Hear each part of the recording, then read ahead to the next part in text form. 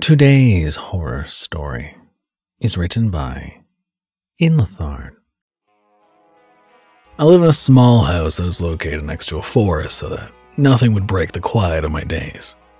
I bought it dirt cheap, as nobody wanted to live in that shithole, where the nearest store is a 40 minutes walk and you need to use firewood in the winter. But my story is not about my life decisions, so I'll cut the crap for you. After several years of fixing and shaping up the shack, it finally began to resemble a living place. It came with a plot, and boy, clearing it out from the rocks and fallen trees, that was something. So the other day, I'd finally finished with the last boulder. I borrowed a lawnmower from one of my neighbors to add a chef's touch to my lawn, if I can call it that.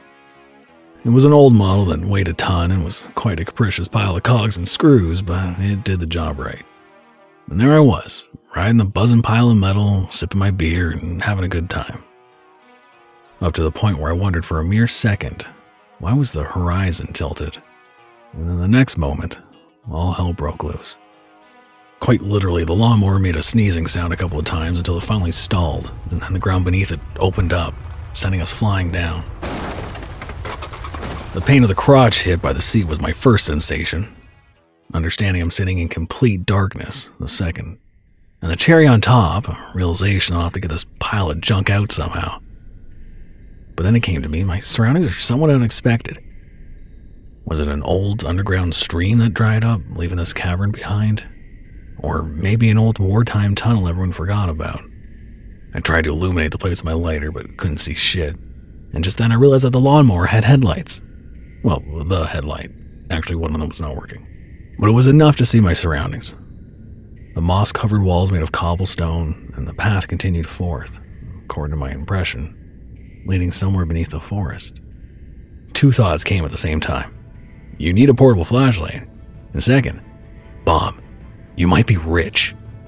If this is some forgotten underground Nazi thing, there could be artifacts I could sell for great money to private collectors. And if it's something even more ancient, we're talking yachts and champagne baths here. Yeah, I had no intention to notify the authorities and all that crap. Because why would I? To get my name in the papers and a pat on the back from some museum keepers? I was keeping my discovery to myself and guys with big bucks. Alright? So I went back to the house. Climbing out was not a joke, as the earth kept crumbling down, but soon enough I found a sturdy edge. Picked up some rope, some light, a bag, and went deep to explore my treasures. The path continued for around 300 meters, made a left turn, finishing up with a chamber. I found myself standing at the entrance of a large circular room with a large stone slab in the middle.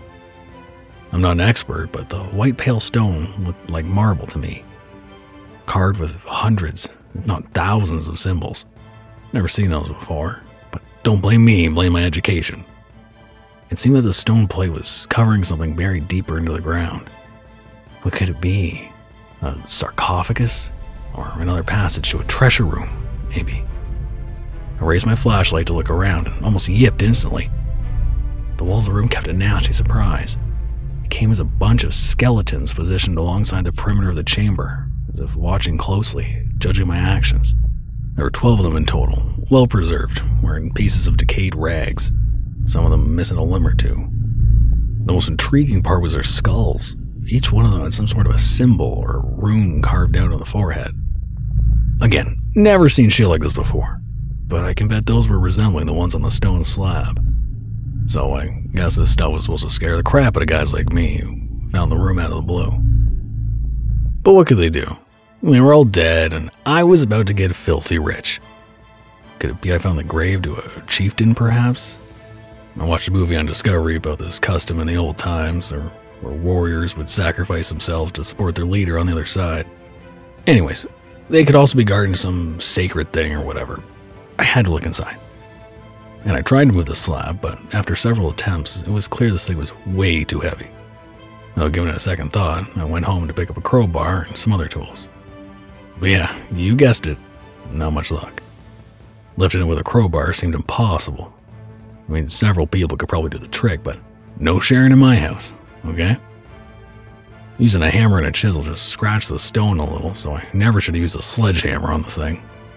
A strike just resonated with a painful trembling in my arms, leaving nothing but a tiny dent on the slab, as if the thing was not made from an old piece of rock, but from steel used to reinforce jets.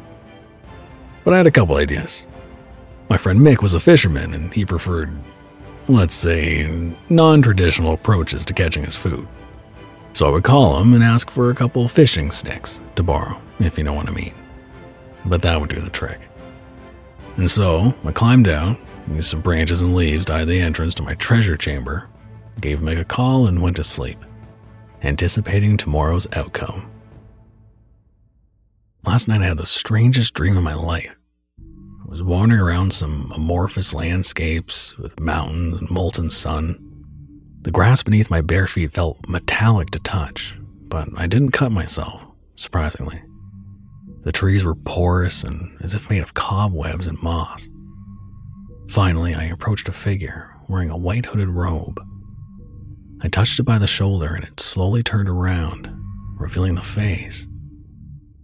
I woke up in a cold sweat standing on the edge of the pit in my backyard. That was unexpected.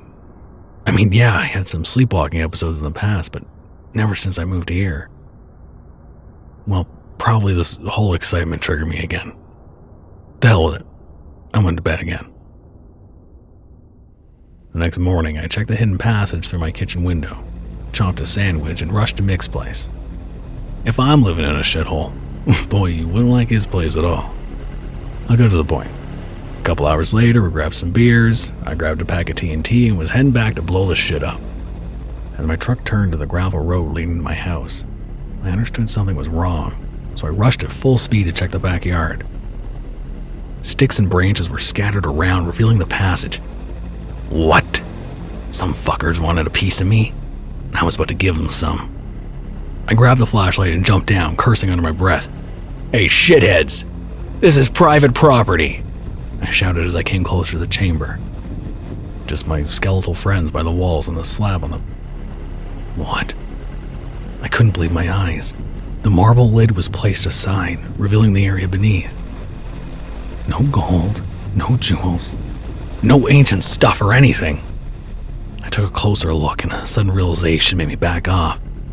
With the marble box hidden in the ground, there were dozens and dozens of mummified creatures rats, frogs, snakes, bats, and other critters.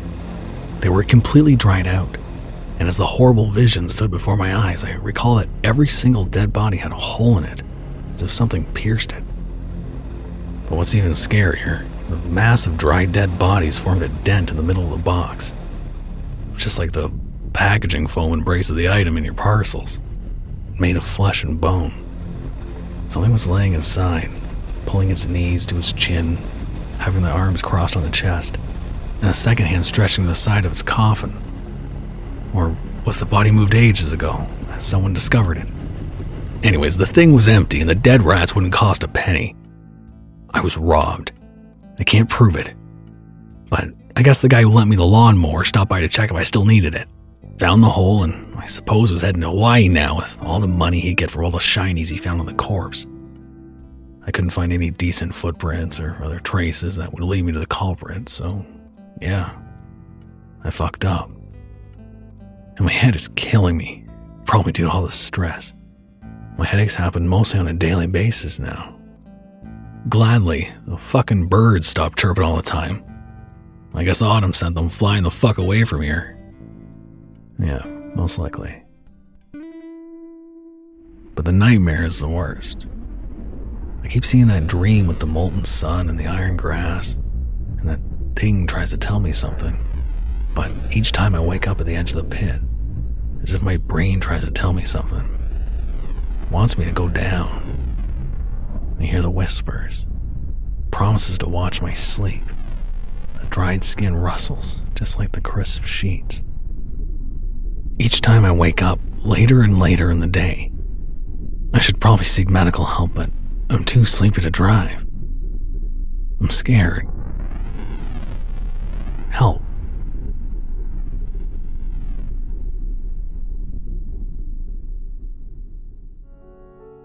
Thank you for listening. You can handle another horror story, right?